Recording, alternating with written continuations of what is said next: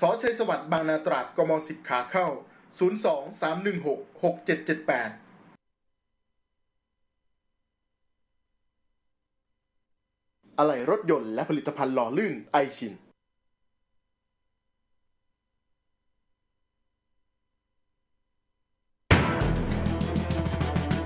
มั่นใจปลอดภัย เหมือนมีตู้นิรภัยอยู่ในรถจาก r i d o Tech ไปพ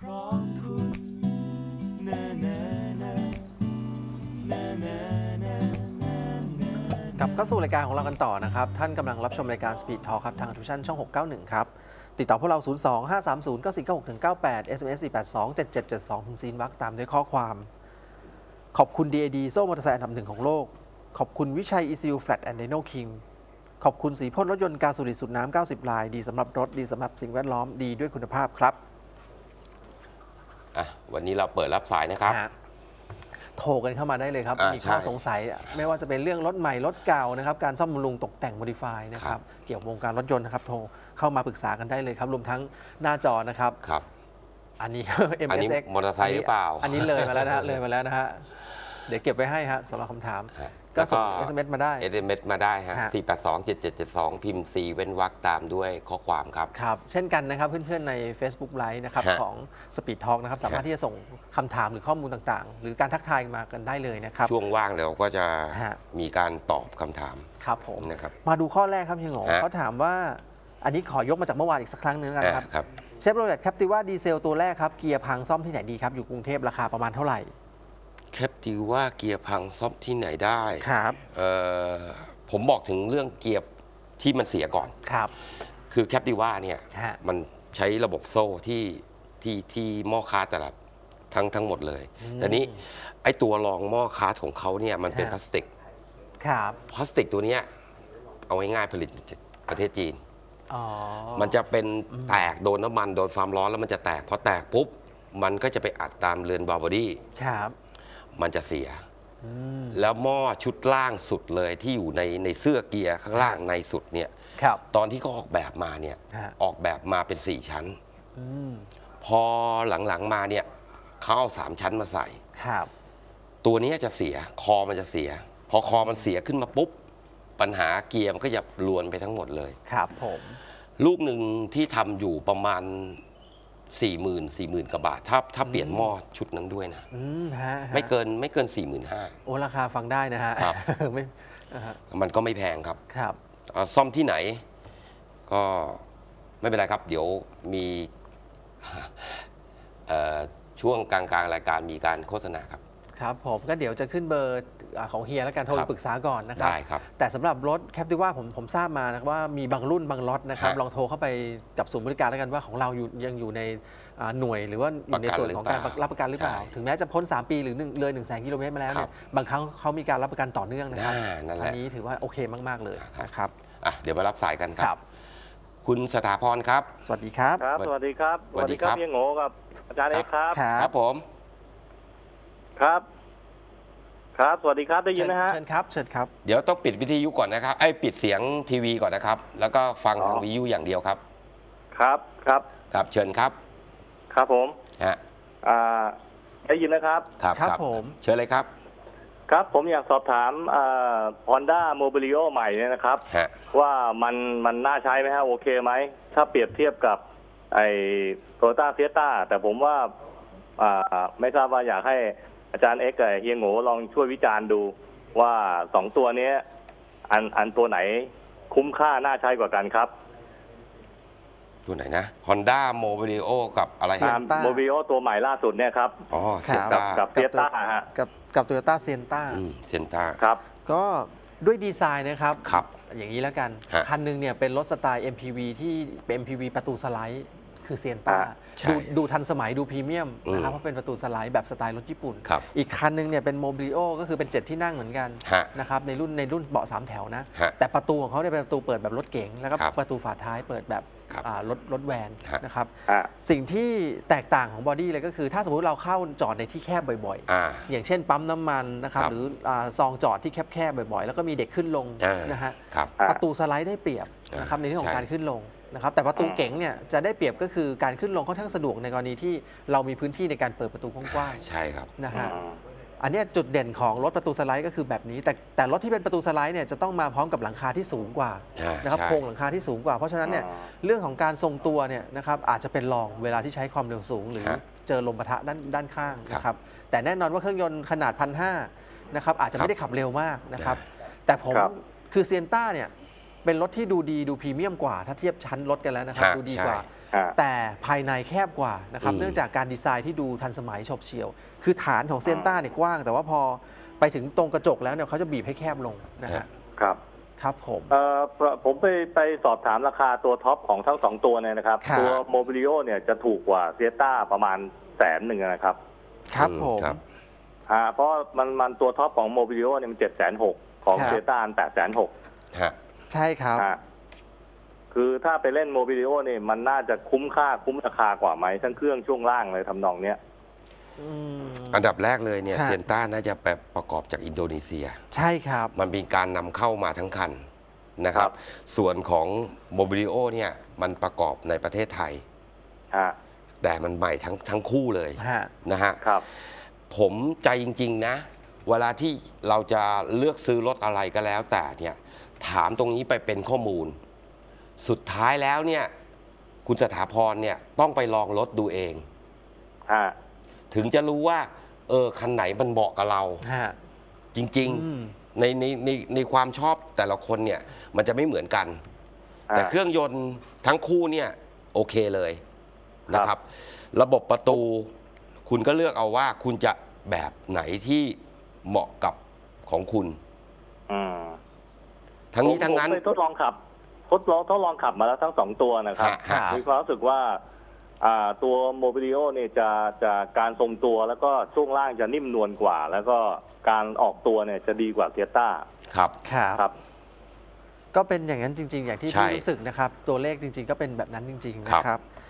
ฮะ Mobili แต่ Mobilio เองเนี่ยถ้าชอบแบบสวยเลยเนี่ยตัวรุ่น RS ที่พี่บอกเนี่ยถือว่าโอเคสวยเลย นะฮะสวยเลยตัวนี้สวยเลย นะฮะครับผมมาก็คือตอนนี้ผมเปรียบเทียบกันสองตัวระหว่างตัวครับท็อปเลยอะ RS กับตัวเทียต้าตัวรุ่น V ตัวท็อป ฮะฮะผมเห็นครับว่าราคามันต่างกันแสนหนึ่งไง อ่าฮะ แล้วทีนี้มามาดูสมรรถนะผมไปลองขับมาแล้วทั้งสองตัว มันมันดู Mobilio น่าจะเหนือกว่า แล้วก็ราคาถูกกว่าดูครับภายในแล้ว คือมันอ่าเทียต้าเหนือกว่าตรงมีประตูสไลด์แค่นั้นเอง ครับ แต่นอกนั้นก็ไม่น่ามีอะไร คือครับคือ Mobilio เนี่ยถ้ารุ่นก่อนเนี่ยอาจจะโดนคนต่อว่าในเรื่องของคอนโซลหน้าฮะ นะครับที่ยกใช่มาครัจากบชุดใช่วิดีโอก็ดูแบบดูดูเป็นรถราคาถูกแล้วกันถ้าพูดแบบง่ายๆนะ แต่พอยกคอนโซลหน้าที่เป็นแบบเดียวกับ BRV มาใส่ดูพรีเมียมขึ้นทำให้ครับ ภายนอกกับภายในมันไม่โดดกันนะครับดูอ่าดูโอเคลงตัว แล้วผมครัก็บ ชอบ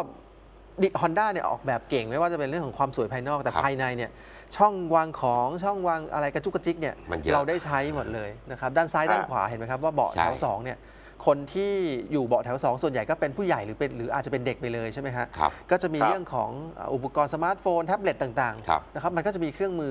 จุดวางต่างๆ ที่เขาออกแบบมาครับเรียบร้อยแล้วอ่านะเอาครับงี้แล้วผมไปลองลองนั่งเบาะแถวสามเนี่ยผมสูงประมาณร้อยแปดสิบเนี่ยฮะผมนั่งได้สบายเลยนะฮะโอเค เอางี้ ข้อมูลเบื้องต้นมีอยู่แค่นี้ ครับ คุณชอบตัวไหนซื้อเลย อืมตอนนี้จริงๆ ชอบตรงนั้นเพราะว่าราคามันถูกกว่ากันแสนหนึ่ง เอาเลยครับครับผม โอเคนะครับโอเค โอเคครับ ขอบคุณครับ ครับสวัสดีครับ จริงๆ Sienta สำหรับบางคนนะที่ฮะที่ต้องการจอดรถในที่ที่แคบๆเนี่ยฮะก็ก็อาจจะชอบเพราะว่าอืมมันค่อนข้างโอเค แล้วการขึ้นลงถ้าเป็นเด็กๆเนี่ยก็ค่อนครับสะดวกแต่ผมว่า Sienta เองเนี่ยเหมาะสำหรับอ่าคุณแม่แล้วก็รับส่งลูกลูกนะครับไปโรงเรียนคุณลูก ที่ เป็นซอยแคบครับ ๆนะฮะแล้วก็ต้องมีการจอดรถอะไรอย่างเงี้ยแล้วก็ต้องใช่เดินไปส่งนะฮะ อะอืม มาสลับกันหน้าจอมั่ง ครับ Fortuner TRD ขับ 4 ปี 14น่าใช้อยู่ไหมครับ โอ้ปี14รถยังใหม่เลยครับ เป็นครับน้าแชมป์หน้าสุดท้ายแล้วด้วย ใช่ เป็น 5 เกียร์แล้วด้วยนะฮะซดน้ำมันไหม โอ้เป็นรุ่นที่สมบูรณ์แบบที่สุดแล้วฮะ ถูกต้องครับเครื่องเป็นตัวก็มีการสุดท้ย up แรงม้าอืมเกียร์ก็ดีใช่ นะครับเกียร์รู้สึกว่าจะเป็น 5 speed แล้วนะ5 speed 5 speed แล้ว ฮะ ชอบรถดูรถสวย ดูรถสีตรงใจครับหนึ่งสีตรงใจดูรถสวย อืม สภาพหน้ามันสมบูรณ์อะครับ วิ่งน้อย ทุกอย่างมันโอเค ไม่วิ่งน้อยอันเงี้ย ถ้ามันแพงกว่าสักประมาณสองสามหมื่นหรือสี่ห้าหมื่นเราซื้อสภาพโอเคเลย ครับผมจบ อืมบนหน้าจอต่อเนื่องเลยครับ ฮะ Volvo V60 หมดระยะฟรี maintenance มีอะไรตัวไหน เรื่องไหนครับ ยังจำเป็นต้องใช้ของศูนย์ไหมครับจริง ๆ นะ ฮะถ้าเกิดถ้าเป็นผมนะ ครับผมใช้รถประมาณขนาดเนี้ย ฮะผมจะใช้ของศูนย์เกือบทั้งหมด อืมเพียงแต่ว่าไอ้พวกกองกรองต่างๆ เนี่ย ไม่ว่าจะเป็นกองเกียร์ฮะกองเครื่องอาจจะใช้ข้างนอกได้ น้ำมันเครื่องอาจจะหาเกียร์ที่มันเหมาะกับตัวรถได้ ครับ น้ำมันเกียร์ก็หาสามารถที่จะหา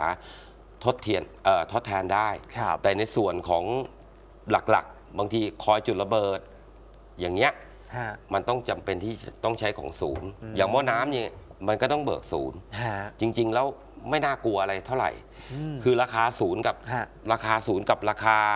ข้างนอกเนี่ยถ้าหาดีๆ บางทีมีการลดเปอร์เซ็นต์เนี่ยอืมมันก็ไม่ไม่ไม่ไม่แพงกว่ากันเท่าไหร่ โอเคเลยนะฮะครับอย่างตัวเนี้ยครับก็จะเป็นเกียร์ระบบ power shift กับเครื่องยนต์พันหก EcoBoost ถ้าฮะถ้าจะว่าไปแล้วเครื่องยนต์เนี่ยเอามาจาก Ford ครับ EcoBoost พันหกครับแล้วก็เกียร์เนี่ยก็เป็นเกียร์ Ford เหมือนกันนะฮะฮะเป็นเกียร์ dual clutch เหมือนกันครับแล้วก็น้ำมันเกียร์จริงๆแล้วน้ำมันเกียร์มีกรองเกียร์ด้วยที่ต้องเปลี่ยนใช่ใช่ไหมฮะแล้วก็น้ำมันเกียร์ส่วนใหญ่ถ้าเป็นสเปคของของ Ford เอง ถ้าเป็นของ Ford นะฮะเขาก็จะใช้ของยี่ห้อ Motocraft ครับใช่ไหมฮะ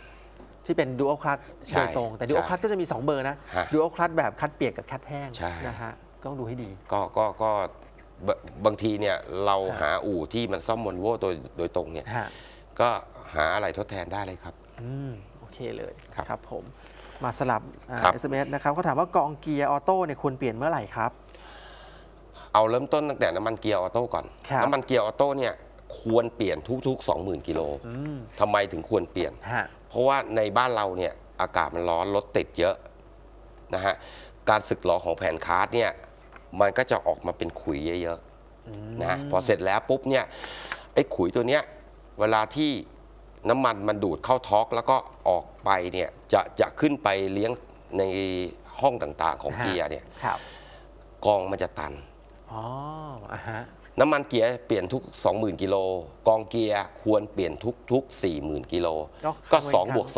อืมนะครับอะฮะ2ทุกรุ่นน่ะอืม นะครับรุ่นที่มีให้เปลี่ยนได้นะครับครับสามารถเปลี่ยนได้เลยนะครับแต่ครัถ้าบรุ่นที่ไม่สามารถที่จะเปลี่ยนเปลี่ยนได้ก็อาศัยถ่ายครับนะถ่ายบ่อยๆถ่ายอย่างเช่นบ่อยๆ Honda มันจะมีฮะกรองเนี่ยอยู่ข้างในหนึ่งลูกครับแต่ว่าไม่สามารถที่จะผ่าออกมาแล้วเปลี่ยนได้ เพราะว่าการผ่าของมันก็คือต้องเปลี่ยนประเก็นต่างอืมๆเราไม่นิยมเขาก็ฮะจะออกแบบมาฮะกรองลูกหนึ่งก่อนเข้าที่ solenoid ต่างอืมๆ คล้ายๆ กรองเบนซิน ครับแต่มันเป็นกรองเกียร์อาจจะเปลี่ยนตัวนั้นลูสีดำก็ได้ฮะครับ ใช่ที่เรียกครับเป็น offline filter นะฮะใช่ครับ อยู่อยู่ด้านนอกนะฮะ อยู่ด้านนอกครับ ครับผม ก็เปลี่ยนตัวนั้นไปก็ไม่แพงครับ อืมอ่ามีสาย Evo ครับพี่อะ Evo 10นำเข้ามือแรกน่าจะอยู่น่าจะมีอยู่ไหมครับ รถใหม่เลยครับตอนนี้ และจุกจิกไหมครับ อืมผมว่าจะเป็นตัวท้ายๆของของของรถแล้วเนี่ยเอ่อมีแต่ว่าผมไม่รู้ว่า เขาจะขายอยู่ที่ราคาประมาณเท่าไหร่ อืม แล้วก็รถจดประกอบหรือเปล่า หรือฮะ รถนำเข้าทั้งคันนะครับ ก็ค่อนข้างที่จะน่าใช้อะครับ ถ้าเป็น evo 10 แท้ๆ ที่เป็นรถอ่ารุ่นสุดท้ายของฮะลายผลิตเลยนะ ฮะที่เขาเรียกว่าเป็น final edition เนี่ยเราครัเคบยเอาภาพวิดีโอมาให้มาให้ชมกันก่อนฮะหน้านี้ น่าจะประมาณปีหรือ 2 ปีที่แล้วแล้วฮะนะครับที่ที่ทำน่าจะเป็นปีที่แล้วครับ ครับ ที่ทำออกมา ที่ญี่ปุ่นเองก็มีขายบ้านเราไม่มั่นใจนะครับ ถ้าถ้ายังเหลือบนโชว์รูมหรือเปล่าอันนี้ต้องเช็คดูนะครับ คงคงไม่เหลือแต่ว่ามีการสั่งฮะ จากจากโชว์รูมอะฮะ ศูนย์รถยนต์นำเข้าที่ต่างประเทศเอ่ออยู่ในเมืองไทยแล้วก็ให้เขาสั่งต่างประเทศเข้ามา แต่ราคาก็ต้องไปคุยกันอีกทีหนึงใช่ใช่แต่รถมันน่าใช้ครับ ฮะจุกจิกไหมครับ มันจะมีเกียร์อยู่ 2 รูปแบบคือเกียร์ manual กับเกียร์ duo clutch ใช่ไหมใช่ครับ เป็นออโต้ส่วนมากจะเป็น duo clutch ฮะ ตัวตัวตัวหลังสุดนี่จะเป็น duo clutch แล้วก็เป็น power shift ด้วยนะครับอืมผมเคยไปขับที่ที่ลาสเวกัสฮะ ผมว่าตัว manual เนี่ยมันขับมันกว่าเยอะเลย อะเพราะว่าตัวหรืออาจจะเรายังอาจจะไม่ชิน ครับเพราะว่าเราเราขับแค่แค่รอบสั้นฮะๆนะครับแต่เราต้องต้องต้องจับอาการรถให้ครับ ได้ ขับตัวเกียร์ธรรมดารอบหนึ่งพอมาขับเกียร์ duo clutch เนี่ย เรามีความรู้สึกว่าในการเข้าโค้งเนี่ยขับเกียร์ธรรมดาเรามั่นใจกว่าเพราะเรายัดใช่ เรายัดครับ อะดึงได้เอนจินเลยเบรกได้เลย ครับแต่พอเป็นตัว duo clutch เนี่ยบางทีฮะเราดึงออกมา แล้วมันมากไปหรือน้อยไปบางทีจังหวะเกียร์ใช่ไม่ได้จังหวะเกียร์ไม่ได้ อ่าฮะครับ ครับผม ก็ลองลองลองไปทดสอบดูครับ ฮะบนหน้าจอต่อเนื่องครับ รถตู้ D4D ตัวใหม่จะมาปีนี้หรือเปล่าครับ อยากเห็นอ่าผมว่ายังไม่มานะ ครับ ปีหน้าอาจจะมา แต่ว่าข่าวยังไม่มา เรียกว่าไง ก็เท่าที่ผมมีข้อมูลจากปีที่แล้วนะครับมีมีมีถามมาก่อนหน้านี้ละปีที่แล้วเนี่ยถามกันเข้ามาว่า Commuter จะเปลี่ยนโฉมไหมอืมในสื่อต่างประเทศเนี่ยเขาบอกว่าปี 2017 เนี่ยเราจะเห็นโฉมอืมนะครับปีนี้ฮะ2017 ซึ่งก็จะอาจจะมีก็คือช่วงปลายปีอาจจะมีข่าวนะครับครับในช่วงปลายปีคือเดือนครับธันวาคมฮะนะครับถ้ามีคือเราได้เห็น body แล้ว แต่จะขายเมืองไทยไหมปีนี้ไม่ทันแน่นอนครับ ใช่ครับนะฮะแต่รถสวยนะครับอจริง ๆ Commuter เนี่ยมันมันต่างจากรถตระกูล LH 1 1 2 ก็คือหัวจรวดฮะ โดยสิ้นเชิงเลยโอ้พลิกโฉมเลยนะพลิกฮะโฉมเลยครับอ่าฮะ รถก็ body ใหญ่กว่าอะไรครับ ใหญ่กว่า แต่ว่าตัวที่จะมาเนี่ย เรายังไม่รู้ว่าเขาจะมีแนวโน้มยังไง อืมถ้าผมจินตนาการนะครับ อ่าผมอาจจะมองว่า หน้าใหม่เนี่ยจะเป็นหน้ากระจังแบบคล้ายๆ Alphard Vellfire แล้วอ่าจะต้องแบบอลังอลังหน่อยไอ้มันสวยผมเลยเมียมผมเมียมหน่อย เพราะว่าตัวสุดท้ายเนี่ยก็คือไม่ว่าจะเป็นเวนจูรี่หรือคอมพิวเตอร์หรือไฮฮะเอ็ดเองเนี่ยฮะหน้ากระจังก็จะมีโครเมียมครับนะครับที่กันชนแล้วก็ที่กระจังหน้าเยอะหน่อยครับนะครับตัวใหม่เนี่ยอาจจะดูวิจิตรหน่อยอาจจะไม่เหลี่ยมเป็นกล่องแล้วฮะอาจจะมีการลบเหลี่ยมแล้วหัวเนี่ยอาจจะเป็นหัวทรงแหลมมากขึ้น อาจจะเป็นไฟสองชั้นเหมือนเวลไฟก็ได้อ่านะฮะถ้าถ้าถ้าเป็นแบบนั้นนะโอ้โหขายโอ้กระขายฉูดขายดีเลยครับแต่ว่าเขาเป็นครองครับเจ้าตลาดอยู่แล้ว ใช่ฮะครับทำทำเอาอะไรออกมาก็ก็ขายดีขายได้ครับนะฮะบนหน้าจอต่อเนื่องครับกระบะ cab ยี่ห้อไหน cab กว้างกว่ากันครับอืม cab กว้างกว่าขนาดของ cab นะฮะอ่ายี่ห้อไหนกว้างกว่ากันครับกว้างนี่ก็คือความยาวจากซ้ายไปขวาใช่ไหมฮะ NP 300คือถ้าคือถ้าเป็นตัว body ตัวตัว body ของตัวรถเนี่ยฮะฟอร์ดกับมาสด้าดูได้เปรียบใหญ่นะครับ มันตัวมันใหญ่บอดี้มันใหญ่จริงฮะแต่ว่าแคปก็ไม่ไม่ใหญ่กว่ากันเท่าไหร่อืความจุเอ่อในห้องโดยสารทั้งหมดเนี่ยฮะก็ไม่ใหญ่กว่ากันเท่าไหร่ ไม่ค่อยหนีกันนะฮะไม่ไม่ค่อยหนีกันแต่เวลาขับเนี่ยครับฟอร์ดกับมาด้าเนี่ยมันจะดีเอ่อจะมีการเอ่อมีความนิ่มนวลมากกว่าอืมอย่างรีโวเนี่ยกระดอนเลยฮะ NP 300 ตัวนาวาร่าตัวใหม่ครับผมว่าขับดีนะ Navara set รถดีนะฮะ ใช่ครับ ครับ ขับดี แล้วก็ตัว Triton เอ่อ Strada ตัว Pajero เองก็ครับโอเค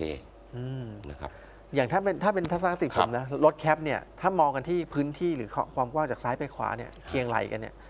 ฟอร์ดกับมาสด้าเนี่ยนะครับใหญ่ดูดูจะมีขนาดที่ใหญ่กว่า แต่ความรู้สึกอาจจะไม่ได้ใหญ่กว่าคนอื่น เพราะว่าอย่างที่เฮียงโงบอกคือครับมันใกล้เคียงกัน ใช่ แต่รีโวจริงๆแล้วรีโวก็ถือว่าไม่เล็ก แต่ว่าการดีไซน์คอนโซลหน้ากับแผงข้างเนี่ยมันทำให้รถดูอึดอัดใช่ นะครับ ข้างคือหพื้นน้าที่มัไม่นเล็กสูนะง ใช่ครับข้างหน้าคอนโซลมันมันสูงสูงยกขึ้นมาดูทันสมัยแบบรถเก๋งเลยคแบรับบรถ SUV เลย ใช่ครับ แต่คนคนมีความรู้สึกว่าเคยใช้ Vigo มารู้สึกว่าพอมาใช้ Revo เนี่ยเฮ้ยมันดูแคบดูอึดอัดใช่ใช่ นะครับมันเป็นเรื่องของดีไซน์ ใช่ครับ ดูทันสมัยขึ้น แต่ดูอึดอัดขึ้นเหมือนกันใช่นะฮะจริงๆแล้วไม่ได้เล็กลงนะฮะครับ ครับผม มาดูข้อนี้เขาถามว่าเอาติด02 ออโต้วิ่งมา 2 5 0 0 0แล้วเกียร์เริ่มไม่ค่อยเปลี่ยนตอนออกตัวครับ แต่พอวิ่งแล้วก็ปกติซ่อมหรือเช็คไงดีครับ ถ้า 02 เนี่ย 02 น่าจะเป็นเครื่องเอ่อ 3ZR ไหมเอ้ย02จะเป็น3 ZZ ZZ ฮะ 3ZZ เนี่ยจะเป็นฮะตัวเอาติดตัวแรกเขาเรียกหน้าหมูไฟท้าย ไฟถอยจะมีดวงเดียวแบทพิทนะฮะแบทพิทใช่นะฮะมีดวงเดียวครับเอ่อเกียร์เนี่ยในในในในที่ใส่รุ่นนี้มาเนี่ย มันฮะจะเป็นเกียร์ของเขาเองโดยตรงอืมใช้เฉพาะในอาเซียนอย่างเดียวฮะ ไทย สิงคโปร์ฮ่องกง มาเล ฮะแล้วก็อีกประเทศหนึ่งใช้เฉพาะโซนนี้อย่างเดียว อืมในญี่ปุ่นเนี่ยจะไม่ใช้เกียร์ตัวนี้ ครับ ไม่ใช้เกียร์ตัวนี้ แต่พื้นฐานมาจาก 7A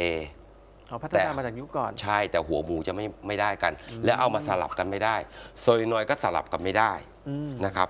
ถามว่าต้องทำยังไง ฮะตัวเนี้ยวิ่งวิ่งก็พอสมควร ครับเอ่อ มันมันมีมันมีการใช้งานที่ระยะเวลามันยาวกว่าระยะทาง ครับ เพราะฉะนั้นเนี่ยต้องโอเวอร์ฮอนอย่างเดียวครับ ลูกหนึ่งถ้าทำก็อยู่ประมาณ 20,000กว่าบาทครับ ไม่เกิน 30,000นะครับ จบนะครับครับผมยังจริงๆยังวันนี้ยังยังโทรเข้ามาสอบถามสดๆกันได้ต่อเนื่องนะครับ อย่านอนเร็วนะฮะอย่านอนเร็วนะฮะครับเดี๋ยวลูกดก มาดูบนหน้าจอครับ รถเก๋งที่ไม่มีระบบช่วยเบรกด้านหน้า เป็นยังไงฮะ จะติดตั้งเพิ่มได้หรือไม่ครับ แล้วถ้าติดได้ราคาประมาณเท่าใด โอ้โห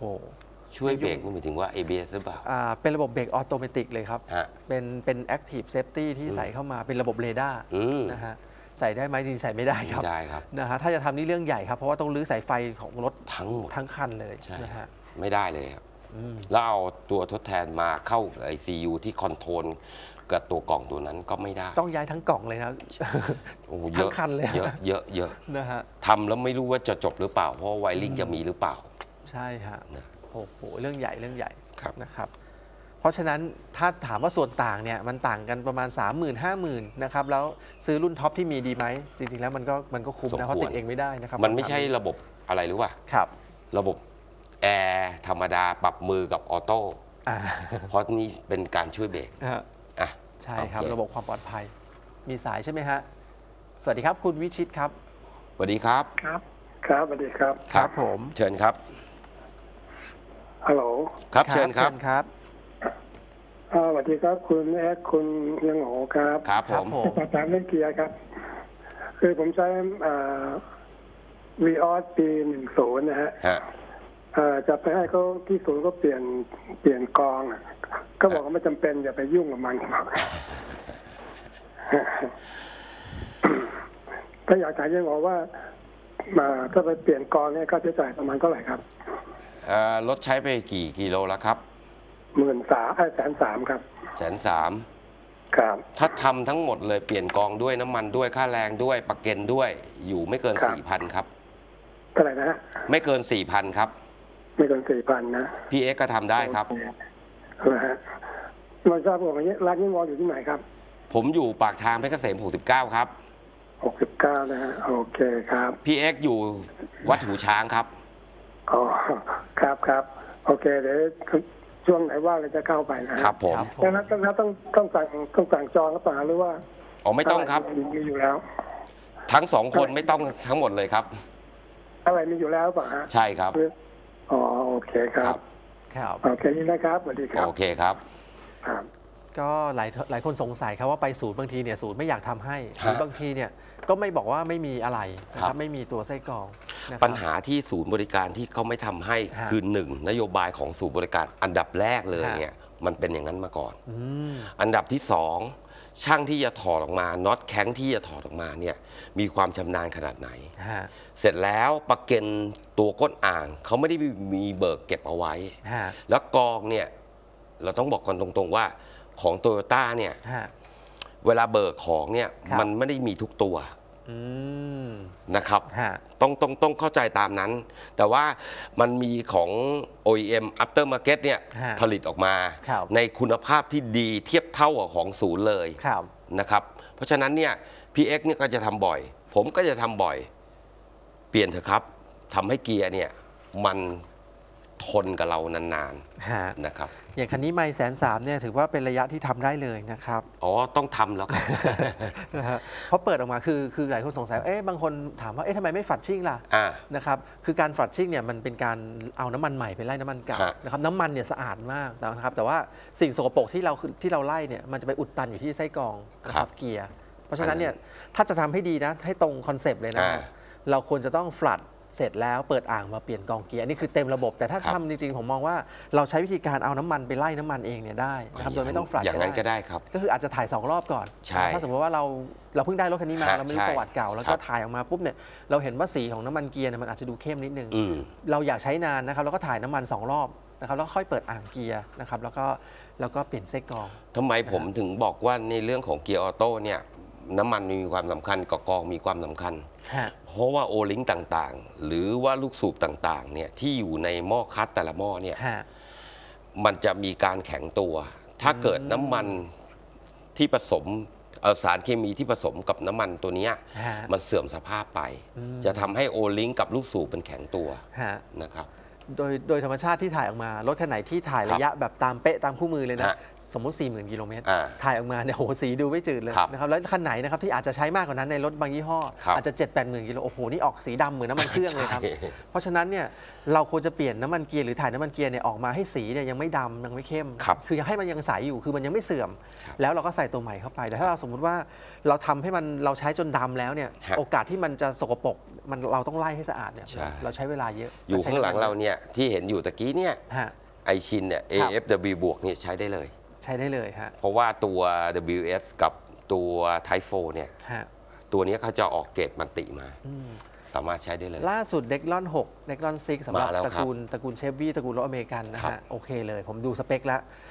แล้วก็มันสามารถใช้ถอยหลังลงไปได้อีกนะคครัรับ บเด็กลอน6ถือว่าเป็นเป็นน้ำมันที่โอเคมากๆนะฮะเอ่อทางไอชินเนี่ย ฮะมาเมื่อต้นปีเนี่ย ครับเอามาให้ผมทดสอบ ครับ ปรากฏว่า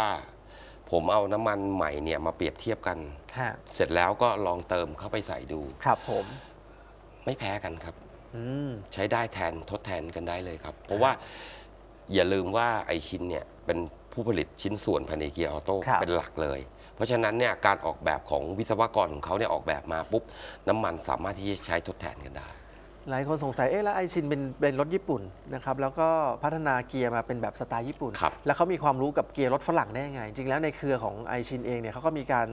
อ่าเข้าไปเทคโอเวอร์ในบริษัทเกียร์นะครับที่เป็นค่ายฝรั่งเนี่ยอยู่นะครับ ก็คือค่ายวอร์เนอร์นะครับใช่ก็กลายครับ เป็น Aisin Warner ตอนนี้ฮะ เอ่อทางพอร์ตก็ใช้นะ ฮะให้ Aisin เป็นผู้ผลิตให้ ครับผนะมครับ โอเคครับผมอ่าบนหน้าจอต่อเนื่องครับ ระหว่าง Vigo Champ กับ Ford Ranger T6 นะฮะ เป็นอ่าก่อน minor change นะครับ แล้วก็เป็นชมทีแล้วตัวไหนน่าใช้กว่ากันครับ ถ้าให้เลือกอ่าถ้ารถดีทั้งคู่นะ ครับ เกียร์ธรรมดาหรือเกียร์ออโต้ล่ะ อืมนะฮะถ้าเกียร์เกียร์ธรรมดาเนี่ย ตัวตัว Vigo Champ เนี่ย ครับ จะได้เปรียบก็คือเวลาซื้อรถมือสอง เราไม่รู้ว่ารถมันมีสภาพการใช้งานมาขนาดไหนฮะนะครับ แต่ในในเรื่องของการ maintenance อะไหล่ต่างๆ เนี่ย Vigo Champ จะ maintenance ถูกกว่าอืมส่วนตัวของ T6 เนี่ย T6 เนี่ย เวลาที่ชุดคลัตช์มันเสียทีเนี่ย ฮะ มันมีการใช้กันกะเอ่อใช้เงินค่อนข้างเยอะมากกว่าปกติ อย่างเช่นปรับคลัตช์เนี่ยฮะแปดพัน ดูแลดูแลเลี้ยงดูแพงหน่อยใช่นะฮะครับ แต่ว่าการการขับเนี่ย ต้องบอกก่อนว่าขับคนละสไตล์ ฮะ T6 เนี่ย ขับจะมีความนิ่มนวลมากกว่า v ีโก้แชมป์อืม แล้วก็ตัว body ก็จะใหญ่กว่าอย่างนี้นฮะ แต่ทั้งนี้ทั้งนั้นเนี่ยต้องได้รถมาที่ดี ฮะ เพียกว่าไง ก็คือผมชอบคือผมชอบโตโยต้าตรงที่เครื่องยนต์ถ้าเป็นดวงสามพันนะอ่าตัวโอเคเขาสมดุลระหว่างอ่าอัตราเร่งอ่า กำลังเครื่องยนต์แล้วครัก็บความประหยัดน้ำมันเนี่ยผมว่าเป็นเครื่องที่ค่อนข้างสมบูรณ์แบบที่สุดในกระบะยุคที่ผ่านมาแล้วอืม นะครับก็คือประหยัดฮะ แล้วก็แรงในในเครื่องตัวเดียวกันในเครื่อง 3,000 แล้วก็สุดท้ายด้วย ฮะแล้วก็สุดท้ายสำหรับตัว body เองผมว่าโตโยต้าดีไซน์รถมาให้ขับแล้วออกตัวไวเร่งแซครังบดีขับใช่ในขับแบบสไตล์ไลฟ์สไตล์ของคนไทยอย่างว่าอ่า work ใช่คือเร่งไวออกตัวไวนะครับแต่ช่วงล่างต้องปรับปรุงกับเบรกนะฮะใช่ถ้าสมมติเราได้มาแล้ว ครับ แต่ถ้าเป็นสไตล์ฟอร์ดเองเนี่ยพอฐานล้อยาวปุ๊บเนี่ยมันได้คือได้ความนิ่งเวลาวิ่งทางยาว ใช่ แต่ stroke ของการขับเนี่ยอาจจะช้าเวลามุดนะเพราะฉะนั้นถ้าเป็นคนที่ขับขับแบบค่อนข้างแบบเลื้อยๆมุดๆหน่อยหมายความว่า สู้ Vigo Champ ไม่ได้ Vigo Champจะดูคล่องกว่าใช่ครับนะครับหรือเข้าซอยที่แคบจอดในที่แคบครับที่ที่มีความยาวของตัวรถที่ครับสั้นกว่า แต่ถ้าวิ่งทางยาวเป็นหลักแล้ววิ่งสบายๆฐานล้อกว้างๆช่วงล้อยาวๆเนี่ยฮะ Ford T6เนี่ยมันขับแล้วสบายกว่า เดี๋ยวนะเพิ่มเติมอีกนิดนึง ฮะส่วนตัว ฮะ Ford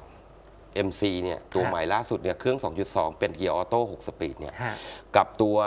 r e v o 2.4 ที่มันเป็นเกียร์5 speed เนี่ย ครับ อัตราทดไม่ไม่ใช่อัตราทดการขับเนี่ยในตัว Ford Ranger เนี่ยรอยต่อของเกียร์เนี่ยสู้ Vigo เอ่อเอ่อตัว r e v o ไม่ได้เลย อืมความเนียนนะฮะ พอเวลามันจะฮะเปลี่ยนเกียร์ปุ๊บ ครับ มันจะไม่มีจังหวะให้รอไม่แหลกนะฮะอ่ามันปื้อปื้อปื้อปื้อส่งไปเลย ฮะ มันจะขับได้ดีกว่าตัวเกียร์ ถือว่าเป็นจุดเด่นของโตโยต้าที่เซ็ตรถรีโวเลยในคสรับไตล์แบบนี้แต่ว่าฮะช่วงล่างแข็งมาก กระด้างมากครับผมอะโอเคครับ ช่วงนี้มาดูสกู๊ปนะครับ วันนี้เราจะพาไปคุณผู้ชมไปชมร้านนะครับ ชื่อว่า Auto House Thai นะครับ ตั้งอยู่ถนนเอกชัย 45 ครับ เขตบางบอนนะครับครับเจ้าของร้านนะครับ แนะนำให้รู้จักกับผลิตภัณฑ์ยางดันหลบครับ เป็นยางดันหลบรุ่นEnasave EC 300 plus นะครับที่ช่วยให้ประหยัดน้ำมันแล้วก็นุ่มเงียบครับอยู่ในกลุ่มยางประหยัดน้ำมันครับ เหมาะสำหรับรถขนาดเล็กขนาดกลางขนาดใหญ่ครับไปชมกันครับ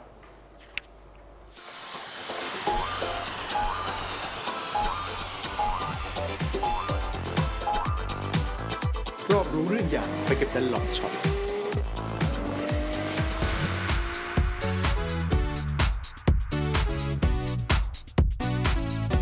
วันนี้เราพาคุณผู้ชมมาที่ถนนเอกชัยบางบอน มาทำความรู้จักกับร้าน Dunlop Shop ในย่านนี้กัน ร้านเหลืองโดดเด่นเป็นสง่า ตึกแถว 2 คูหาหน้าปากซอยเอกชัย 45 กับร้าน Dunlop Shop Auto House เรามาทำความรู้จักกับเจ้าของร้านนี้กันก่อนดีกว่าครับ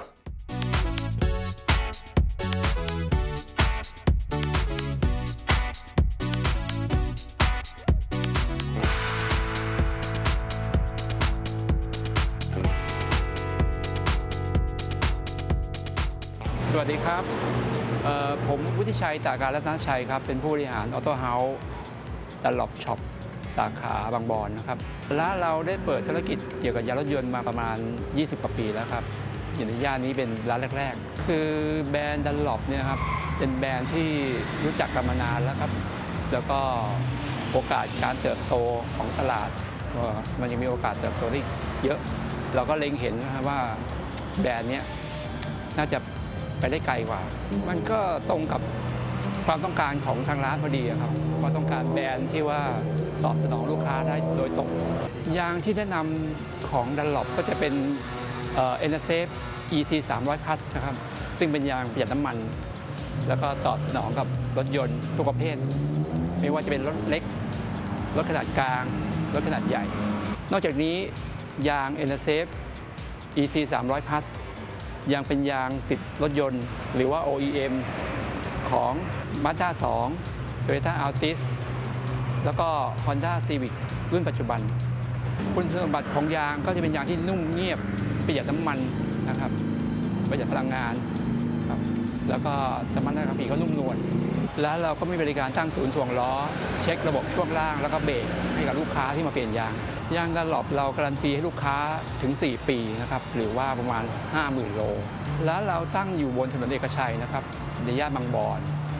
ปากซอยเอกชัย 45ครับช่องทางการติดต่อก็จะมีเบอร์โทรนะครับ 02-415-2594 แล้วก็เป็นเบอร์มือถือก็จะเป็น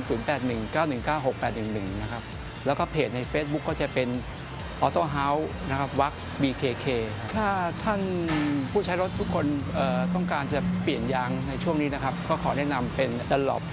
NSF EC 300 Plus ครับซึ่งเป็นยางประหยัดน้ำมัน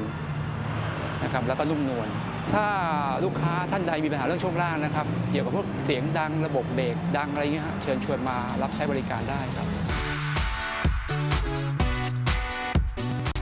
มองหายาง Dunlop มาที่ร้าน Dunlop Shop Auto House หรือ Dunlop Shop มากกว่า 80 แห่งทั่วประเทศ Dunlop เพื่อคนที่คุณ care